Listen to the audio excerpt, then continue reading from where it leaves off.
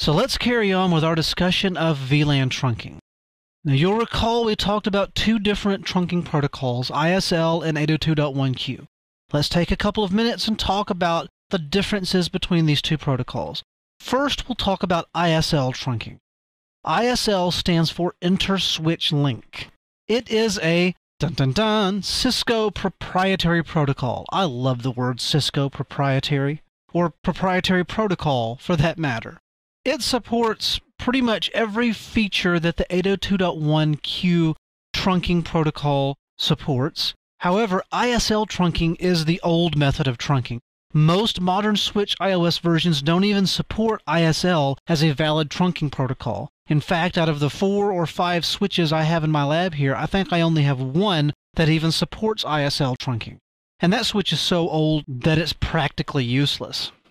So how does ISL trunking work at the packet layer? ISL trunking takes a normal Ethernet frame that you see up here in the top part of this graphic, and it slaps an ISL encapsulation around it. So you have the original Ethernet frame that you see here is now right here in this part of the new ISL frame.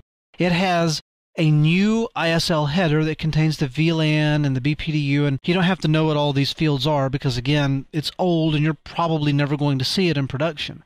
It also has a specialized frame checksum at the end of the ISL frame. So essentially, what happens is when a switch sees a frame that goes across an ISL link, it takes the frame, encapsulates it in the ISL protocol. It doesn't change any of the information in the actual frame, the source address, the destination address, the checksum, so on and so forth. It just takes all of that data, sends it across the link. The router or switch or other device on the other end sees this frame come in the trunk port, rips off this ISL header and footer, and then just examines the Ethernet frame just as if it were not trunked at all. So as you can probably tell, that's kind of computationally expensive. It has to take these frames and re-encapsulate them and compute checksums and so on and so forth. And it is a little slower than 802.1q trunking, but in most situations you'll never notice it because Ethernet speeds are just so fast that most systems and users can't keep up. So now let's move on and talk about 802.1q trunking.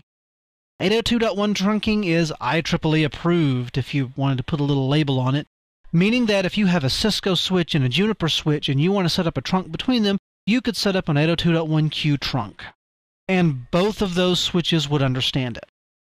802.1q trunking is the standard method of trunking on modern switches. And again, going back to when we first talked about ISL, most Cisco switches only do 802.1q trunking. You can specify that configuration item, and we will do that in the configuration just to show you what it looks like. But for the most part, it doesn't support anything other than 802.1q, so there's no point in even specifying it.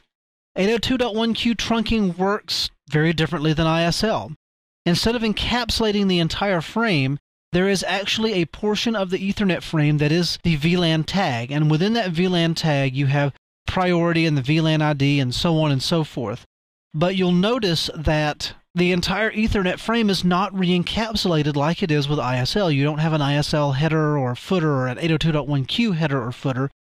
Basically, what the switch does is it manipulates what's in the VLAN tag, recomputes the checksum, and sends it across the 802.1q link.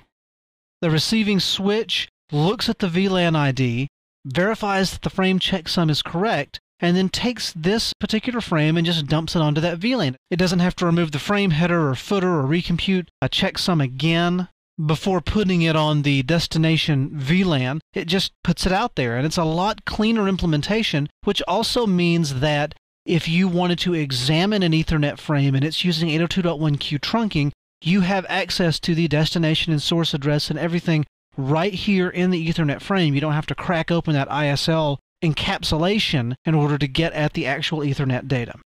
And that concludes our discussion of VLAN trunking.